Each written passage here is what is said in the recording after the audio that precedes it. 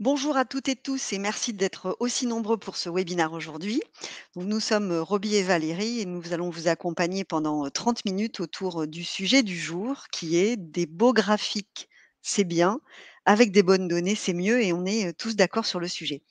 La présentation s'articulera de la façon suivante. Quelques slides pour vous présenter qui nous sommes et qu'est-ce que c'est que la préparation de données, puisqu'on en entend beaucoup parler. Et le but, c'est d'éclairer ce concept. Et ensuite, on vous présentera un cas que nous avons rencontré chez un de nos clients. Côté logistique, vous avez un chat à droite pour poser vos questions et nous y répondrons durant tout le webinaire. Euh, et on va aussi vous proposer deux sondages. L'onglet s'affichera euh, au niveau du chat lorsque les sondages seront ouverts et euh, les résultats seront publiés dans la foulée quand tout le monde aura répondu. Ceci étant posé, qui sommes-nous? Tell of Data est un éditeur de logiciels français dont l'actionnariat est, composé du groupe Nextedia, qui est une, une société spécialisée entre autres euh, dans la cybersécurité et qui est cotée à la bourse Euronext.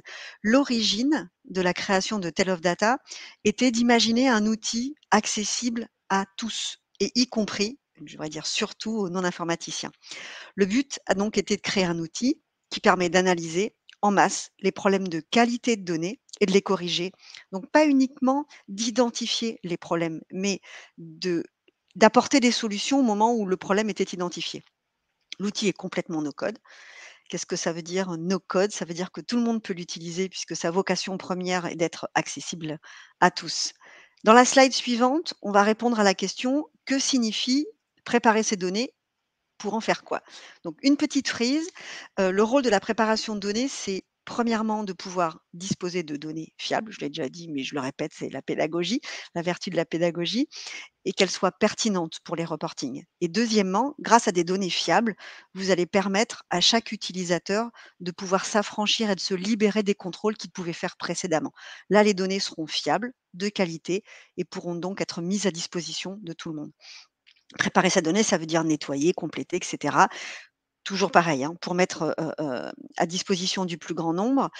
Le but, c'est d'avoir de la donnée fiable et prendre les bonnes décisions. Alors c'est certain, la préparation de données, ça ne fait pas rêver, mais c'est comme beaucoup de choses. C'est pas super glamour, mais indispensable. Et on y passe Concrètement 80% du temps, Valérie, hein. Sur sur des projets de data, on passe 80% du temps sur la préparation de données, donc heu Exactement, tout à fait. Donc concrètement, le premier chevron, qu'est-ce que ça veut dire dans la préparation de données?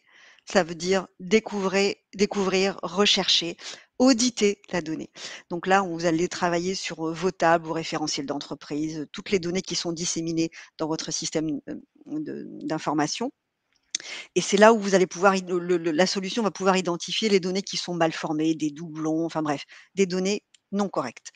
Heu, le but, c'est que cette analyse soit réalisée automatiquement puisque, en tout cas Tell of Data dispose d'un moteur d'intelligence artificielle embarqué, donc cette analyse peut être faite automatiquement. Ensuite, les chevrons 3 à 4, c'est ce qu'on appelle les briques de restructuration.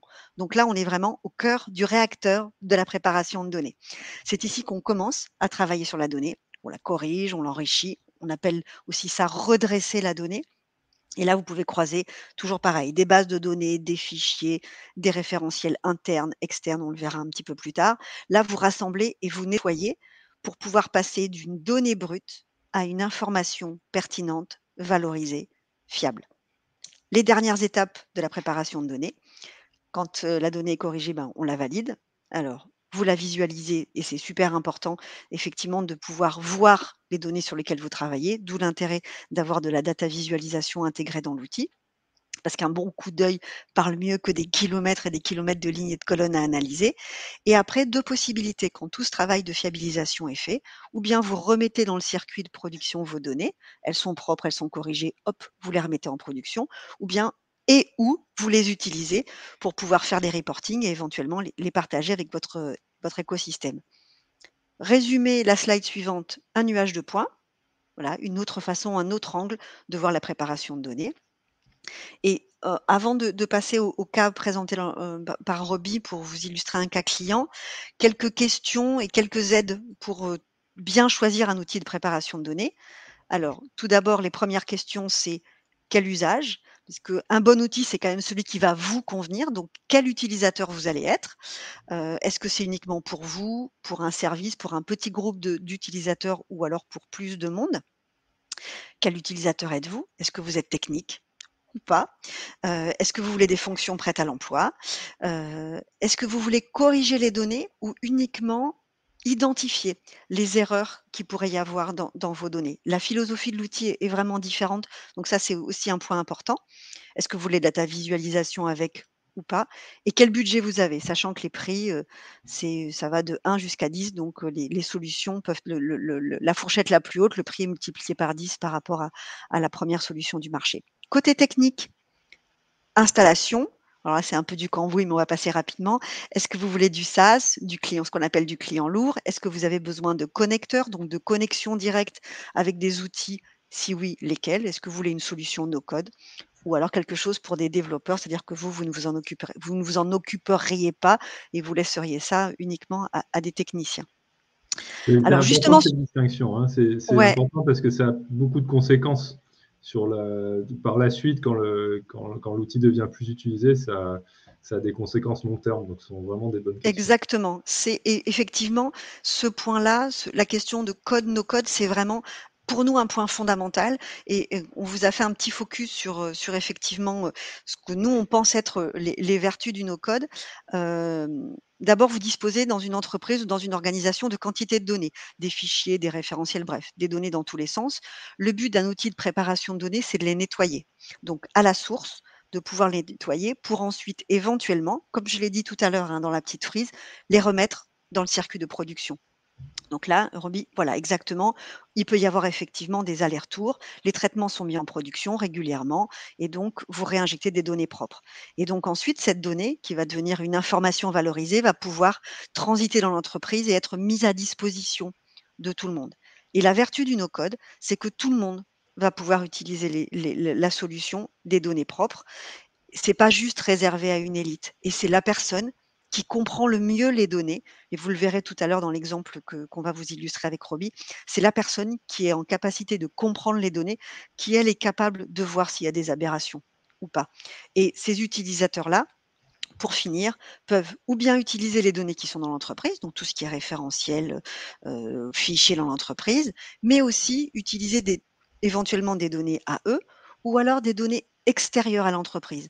Par exemple, d'utiliser des données qui sont en open data, donc disponibles pour tout le monde, pour enrichir les données. On a des clients qui, heu, enrichissent leurs données avec, heu, les données SIRET qui sont mises à disposition. Ça permet de fiabiliser régulièrement en traitement de fond, en tous les qui fonctionne tous les jours, toutes les semaines ou tous les mois, heu, pouvoir fiabiliser et enrichir les données qui sont utilisées dans l'entreprise.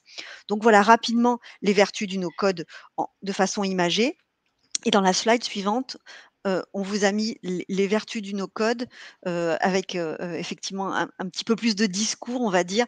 Le premier avantage, c'est la lisibilité du travail qui est écrit en langage naturel. Alors, langage naturel, qu'est-ce que c'est? C'est ce que je suis en train de faire. C'est le langage de vous et moi et pas un langage technique. Donc ça permet à tout le monde de comprendre ce qui est fait, les traitements qui sont écrits et donc que tout le monde puisse utiliser la solution, comme on l'a dit il y a quelques instants.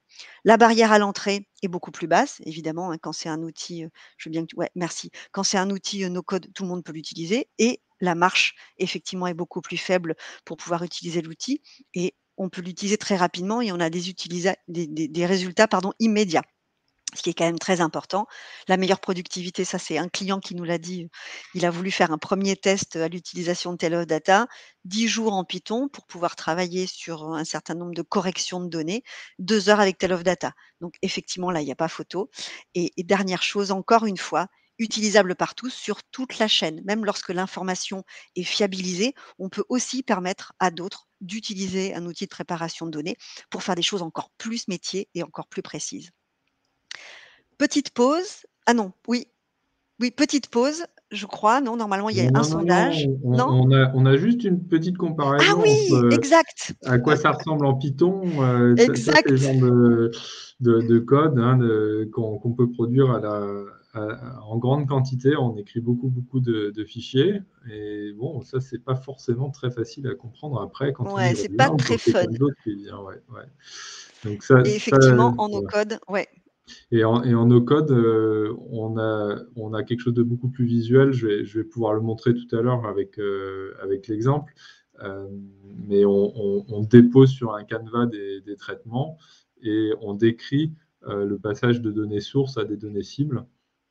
Avec, par exemple ici, dans l'illustration, un filtre.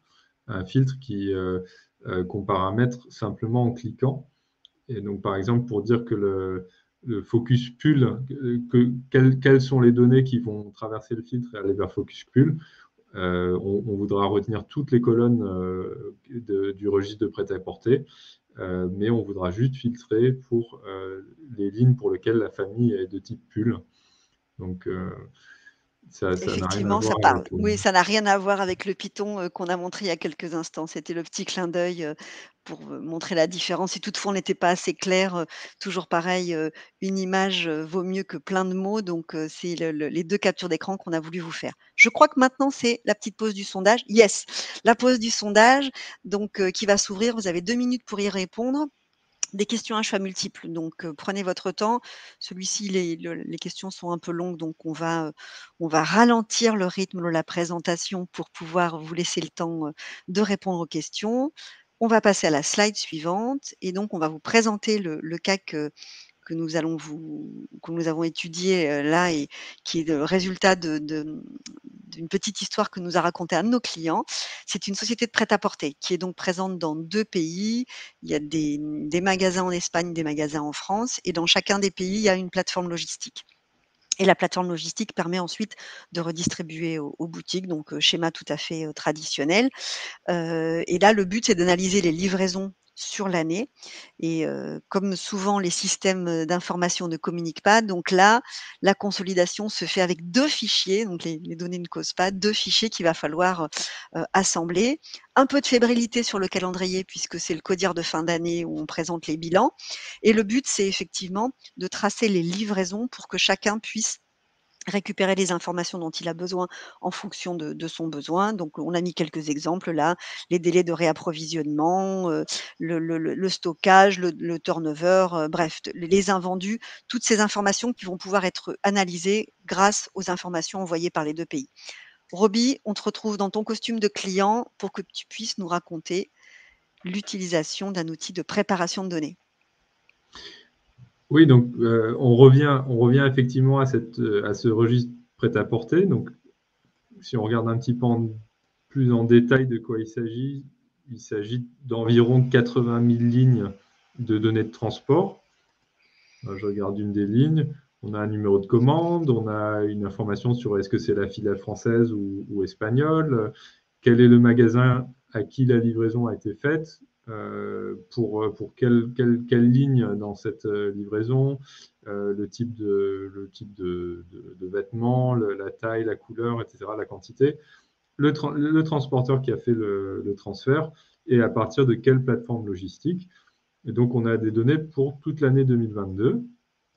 Et comme je vous ai dit tout à l'heure, on a un flux principal qui va aller alimenter une table avec les données 2022 qu'on va visualiser et puis un flux euh, vers une table de focus pull euh, dans lequel on est simplement en train de filtrer toutes les données qui concernent des pulls. Parce que euh, le client a, ce, besoin de produire un, tableau de bord pour le codir. Et aussi, un des acheteurs pour les pulls a, posé quelques questions et voudrait voir les données des pulls plus en détail. Et, donc, ça ne pose aucun problème. On, crée deux, cibles et ça permet d'assembler des choses comme ça, des, des tableaux de bord comme ça, euh, dans lequel, par exemple, on voit sur l'année 2022 euh, le nombre d'expéditions. Donc, les magasins fonctionnent avec du just-in-time, donc euh, il n'y a pas de stock dans les magasins. Et, on voit une activité régulière pendant l'année. Euh, avec un, bon équilibre entre la taille euh, de la filiale française et de la filiale espagnole. En, bleu, c'est les Espagnols, en rouge, c'est les Français. Et on voit une activité constante, une activité de livraison constante tout au long de l'année, avec un bon équilibre entre les deux filiales. Et on peut zoomer sur, euh, sur par famille. Donc là, ici, une vue globale de, toutes les quantités livrées par famille toutes filiales confondues. Et donc là, on voit la cyclicité de l'activité avec euh, la période de fin d'année, euh, les, fêtes de fin d'année, les soldes, euh, et ensuite un, creux, un creux en mars, un creux en, août, et, une, répartition assez constante entre les différentes familles.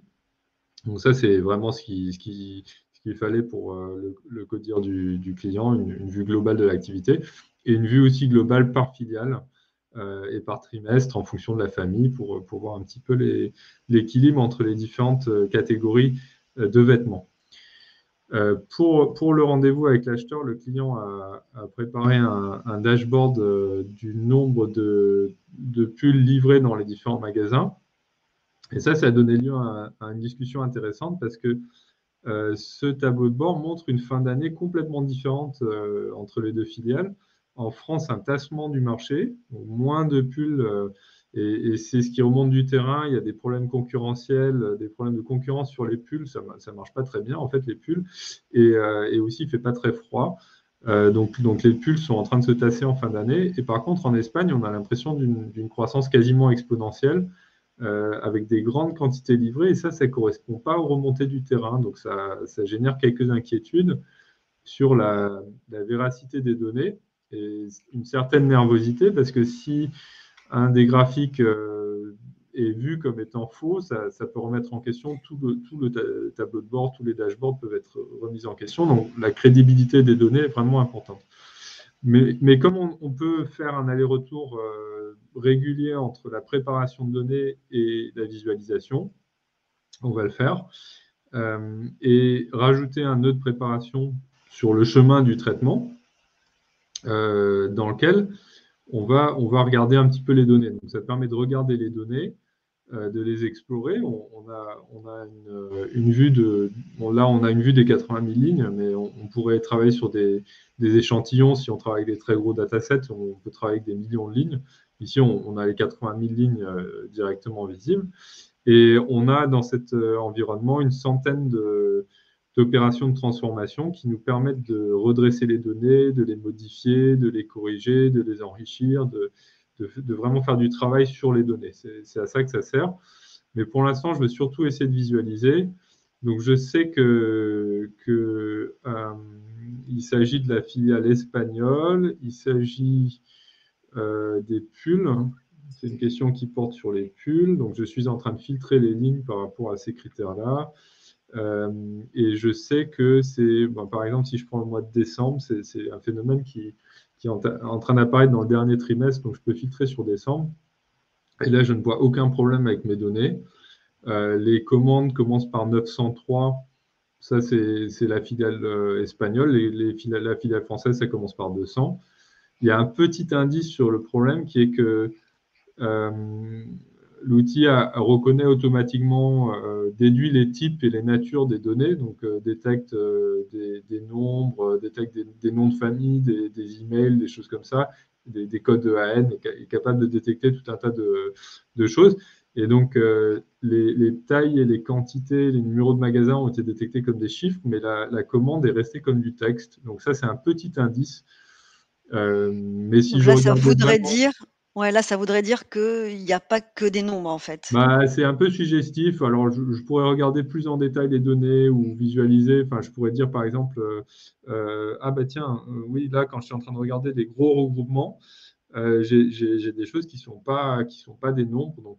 Mais une autre manière de le voir serait de dire, de forcer le type de la colonne et de dire que ça, je veux que ce soit vu comme un nombre. Et là, en fait, j'ai une visualisation des, euh, du caractère incorrect de certaines lignes. Donc, donc là, je vois que 51% des lignes euh, sont bien des nombres pour, pour le mois de décembre, pour les pulls, pour la filière espagnole. Mais par contre, euh, il y a à peu près 50% des lignes qui contiennent un dev assez mystérieux en préfixe de la commande. Et là, là le client s'est un peu gratté la tête pour comprendre qu'est-ce que c'était que ces devs. Et je crois qu'il nous a dit effectivement qu'après quelques coups de fil à gauche, à droite, il s'était rendu compte que dev, c'était, heu, devolución, c'est-à-dire les retours marchandises en espagnol. Donc, heu, est-ce que tu peux zoomer ce ce les les les 51 et les 49 pour, Oui, heu, oui, bien sûr, effectivement, le qu'on voit les suggestions? Ouais, Là on voit on voit les 51 on on voit donc on voit le la taille des des données, des données qui sont pas qui sont pas des types. Il y a 48,15% qui sont non reconnus. Et heu et effectivement, quand je clique dessus, je vois je suis juste en train de filtrer sur ces lignes aussi et je vois des devs et des formats pas corrects du tout et en fait, l'outil me propose aussi, heu, suivant le contexte, des suggestions de transformation. Donc je pourrais aller, piocher dans ma liste de 100 transformations, mais là, on me propose de supprimer les lignes filtrées. Là là, c'est à peu près ce que je veux faire parce qu'en fait, il faut que j'enlève quand même, le filtrage sur le mois. Donc heu, là, c'est la famille, heu, la la famille pull, heu, la filiale, les commandes qui sont de type incorrect. Je veux supprimer les lignes filtrées et voilà, le problème a disparu. J'ai enlevé les lignes, qui causaient problème. Je crois que c'était un changement de logiciel comptable. Ils ont intégré à partir d'octobre les retours dans les données et donc maintenant maintenant je vois, j'ai j'ai 100% de qualité sur, heu, sur mes sur mes commandes. Tout est tout est tout est correct, heu, tous mes champs sont au beau fixe. Et hem et je vois dans ma pile de transformation, dans mon historique, que j'ai modifié le type de la colonne et j'ai supprimé les lignes filtrées. Et je peux voir le sur quel en langage naturel, comme Valérie était en train d'expliquer tout à l'heure, heu, que c'est filiale espagnole de pull et on n'accepte pas les les lignes invalides.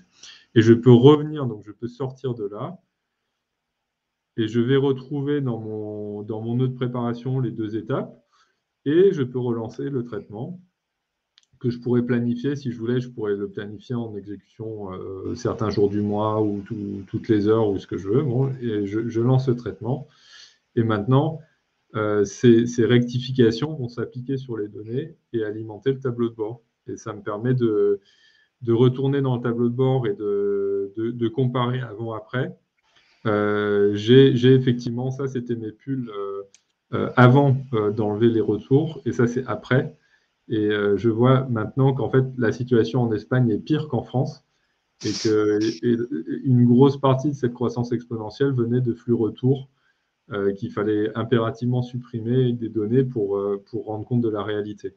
Donc ce genre de de focus sur certains certains éléments des données permet de bien vérifier la qualité, d'aller corriger la qualité et puis d'améliorer globalement les tableaux de bord. Le le tableau de bord qui a été, envoyé par le client à son codir, heu, avait été corrigé pour ce problème-là et donc donc l'amélioration sur les pulls a eu un impact positif sur tout tout le tableau de bord, pour le client. Et là, effectivement, on est vraiment dans le cœur de notre webinar. Donc, des beaux graphiques, c'est bien, mais quand les données sont correctes, c'est quand même mieux, euh, effectivement. Donc là, Mmh dans, dans cette première partie de webinar, on- vous avez pu suivre l'usage qu'on peut faire d'une solution de, de, préparation de données ou data préparation couplée avec une solution de, de data visualisation. J'évoquais tout à l'heure aussi les questions à se poser pour déterminer le bon outil, quel était son besoin. Et donc là, avec cette illustration, on vous a présenté donc une solution utilisable par tous. hein, vous avez vu, langage naturel, des choses très visuelles. Et l'ambition, c'est de, mettre à disposition de celui qui connaît, de celui qui comprend les données, l'outil. Et donc, typiquement, si on ne comprend pas que les pulls au mois de décembre en Espagne, Normalement, on en vend un peu moins qu'en France. On se rend pas compte de l'aberration qu'il peut y avoir parfois dans les informations. Je crois que Roby, tu voulais aussi nous nous partager, heu, la suite du CODIR, le le à la sortie de de ce CODIR, il y a eu des des demandes complémentaires, heu, faites à notre client sur, Oui, les transporteurs, je crois. ouais, tout à fait. Il y a, chez le client un un des membres du CODIR qui a qui a demandé qui étaient les nos principaux transporteurs, donc qui qui venaient d'un service différent et puis qui voulaient, heu, se cultiver un petit peu sur l'entreprise et donc le client a préparé, heu, a rajouté une page sur le tableau de bord et à préparer un graphique avec euh, la répartition par filiale euh, euh, du nombre d'utilisations de, de, chacun des transporteurs. Mais euh, un premier coup d'œil sur ce graphique montre qu'il y a quand même pas mal de problèmes parce que c'est une donnée qui est saisie à la main par les, équipes transport. Et donc, euh, la qualité des données est, assez variable. Euh, on a, plusieurs orthographes euh, sur le même transporteur. Il y a un petit peu de travail à faire avant de pouvoir montrer ça. Et donc, donc ça nécessite aussi bah, les Van Vingen. il y a trois variantes. Malherbe Malherbe transport, il y a trois variantes, euh, du singulier, du pluriel, du avec H, du sans H. Donc on a, on a impérativement besoin de nettoyer ces données avant de, pouvoir euh, les exploiter. Et ça, c'est très facile. On retourne, euh, on retourne dans la préparation de données, on retourne dans l'éditeur de préparation et on va rajouter des étapes de transformation sur celles qui existent déjà. Et à ce sujet, dans, dans Data, il y a un certain nombre d'outils pour dédoublonner les données, pour détecter automatiquement les doublons et puis les rectifier. Et le plus simple, c'est de commencer par un, fingerprint universel. C'est une des, méthodes. Donc, de lui dire euh, qu'on veut travailler sur la colonne transporteur et euh, de demander à ce que les doublons soient détectés. Donc, on a une détection automatique des doublons basé, pour, le fingerprint sur de la proximité, sur des, choses qui sont proches. Euh, et donc, on a trouvé l'essentiel des problèmes. On a trouvé euh, cinq, euh, cinq, groupes de doublons. Avec, par exemple, pour Van Wingen, on a bien trouvé les trois variantes. pour Malherbe, on en a trouvé deux. Pour l'instant, on en a eu trois tout à l'heure, mais avec cette approche-là, on en a trouvé deux. Et on voit le nombre d'enregistrements confirmés. Et puis, on peut passer en revue le détail des doublons. Donc, par exemple, pour voir un Vindion, si je clique sur une des lignes, j'ai un aperçu des données qui, sont euh, concernées, avec combien, combien j'ai de doublons euh, avec cette orthographe-là? Donc, donc, là, un vote à la majorité me permet bah, d'avoir une proposition intelligente de, de remplacement. Donc, que je peux Est-ce que, tu peux zoomer? ouais. Euh, Est-ce que tu peux zoomer pour qu'on puisse voir Ouais. Voilà. Donc là, là j'ai 2400 400 lignes sur le premier, 470, 409, et là, je peux, choisir par quoi c'est remplacé. Donc, et je peux dire non, ça, je ne prends pas en compte, oui, ça, je prends en compte. Bon, mais là, là, les suggestions automatiques me vont très bien. J'accepte et je vais au suivant. Euh, pour les transports serrés, euh, transports tests serrés, j'ai l'orthographe avec deux R et un R. Heureusement, bah, la majorité a raison. Euh, les 2017, c'est bon, j'accepte et je prends le suivant. Malherbe, je, je, me souviens qu'il y en avait trois, mais là, j'en trouve que deux. Donc il y a Malherbe au singulier au pluriel. Bah, en fait, c'est le singulier qui a l'air d'être bon. Et puis Translogrogno euh, avec ou sans nye. Donc on va, on va rester sur des caractères euh, un peu simplistes. Jardel service, oui, ok, bah, le pluriel c'est bon. Et, donc euh, je, je, peux appliquer ces, ces, remplacements.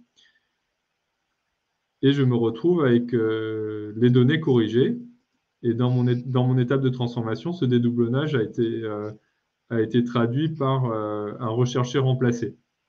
Donc, euh, tous les, tous les doublons qui avaient été identifiés sont remplacés par ce que j'ai choisi comme consigne et puis qui m'a été proposé automatiquement. Alors, il est possible de faire la, la data visualisation directement dans, dans l'éditeur.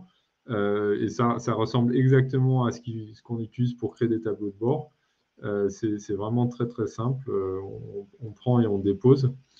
Donc là, je vois euh, l'ensemble de mes transporteurs et, en fait, bon, ça s'est beaucoup amélioré, mais j'ai encore qu'une Nagel, Renus Logistique. Là, là, il y a plus d'écart en fait entre les deux variantes.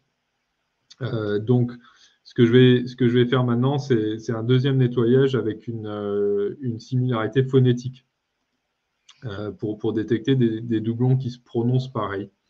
Donc je vais dire que je vais faire ça sur les transporteurs euh, en français par rapport à une, phonétique française. Et donc je, peux faire ça sur des noms de famille aussi, bien évidemment. Enfin, quand je veux rapprocher des bases de données avec des noms de famille qui se prononcent pareil, euh, ça peut être assez sympa. et donc, il a trouvé un certain nombre de regroupements. Kuhnenagel, le troisième Malherbe a été trouvé. Je peux passer en revue le, détail des regroupements. En fait, euh, tout, est, bien. C'est Renus Logistics, logistique. Voilà, c'est plus différent en termes du nombre de mots, euh, mais euh, c'est détecté à cause de la similarité phonétique. Et Malherbe est sans H mais avec un S. Là, la, similarité est, détectée et je peux appliquer. Et, donc, j'ai une, étape, supplémentaire de, recherche et remplacer avec, avec, les doublons. Je reviens ici, je, regarde pour, pour les transporteurs pour leur nombre. Et là, je commence à avoir quelque chose de bien. Euh, sauf que, ah oui, il y a Transportes 36 Berica avec un tiret et sans tiret. Alors, le, tiret n'a pas été détecté par le, le dédoublonnage. Mais ça, c'est quand même assez trivial à corriger parce que je peux euh, filtrer sur mes transporteurs, chercher Iberica et dire que la version avec un tiret, bah, je n'en veux pas du tiret. Hop, j'enlève.